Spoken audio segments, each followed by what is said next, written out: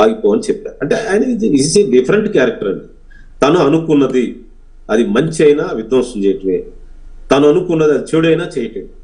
దానికి ఎక్కడ మీమాంస కానీ చర్చ కానీ సత్యాన్వేషణ కానీ దాన్ని మంచిదా కాదా నాలుగు వివేచన కానీ ఇవేమి ఉండవు. తను అనుకుంటే అది చెడైనా చేసేస్తాడు. తను అనుకున్న మనిషి అది చెడ్డ మనిషి అయినా అతను ఒక రేప్ చేశాడంటే ఒక రేపే కదా అంటాడు. అవసరం లేదు.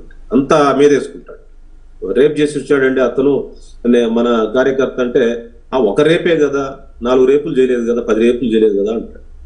ఒక మర్డరే కదా చేసింది అంటాడు. అట్లా అదొక భయంకరమైన ఉన్మాదం. ఆ విధంగా ఆ మనస్తత్వం పడిపోయి ఇంక అసలు గవర్నెన్స్ మర్చిపోయాడు. గవర్నెన్స్ మర్చిపోయాడు. గవర్నెన్స్ మర్చిపోయి కార్యకర్తలు మర్చిపోయాడు సిస్టమ్స్ మర్చిపోయాడు దీని చుట్టూ వ్యవస్థలు ఉంటాయి ప్రజలు వాచ్ చేస్తుంటారు మీడియా ఉంటుంది ప్రతిపక్షం ఉంటుంది రాజకీయాలు ఉంటాయి. నాది ఒక స్టేటే నాది కంట్రీ కాదు నేను ఫుల్ సావరణ కాదు.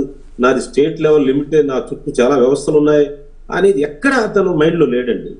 దేవన్ నుంచి విధ్వంసం దురాలోచన తనకు నచ్చినట్టుగా బిహేవ్ చేయటం తను తన సైకో ఫ్యాన్సీలే గౌరవించుకోవడం మిగతా వాళ్ళని వీళ్ళు ఆల్రెడీ వీళ్ళు వేస్ట్లే అన్నట్టుగా వదిలేదు ఏదో ఇది ఎక్కడో నేను దురదృష్టవంతుని నేను ఎక్కడో పాపం చేసుకుంటే పడ్డాను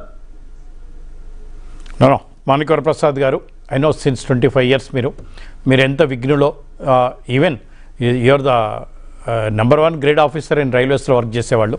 Don't degrade yourself yeah sir రాజకీయాల్లో రాకముందు నేను ఎలా ఉన్నానో యా నా మైండ్ సెట్ ఏంటో నా ఆర్థిక పరిస్థితి ఏంటో నా వ్యవహారాలు? ఈ రోజు కూడా అదే సార్ నేను. అంటే నేను ఏదో కావాలని కోరుకోలేదు. పబ్లిక్ లైఫ్లో ఉండాలి ప్రజలకు సాయం చేయాలి.